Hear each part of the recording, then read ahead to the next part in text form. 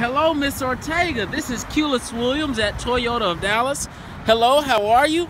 I wanted to introduce myself to you, but more importantly, I wanted to show you that the Tacoma you inquired about is here. See, look, I'm gonna touch it.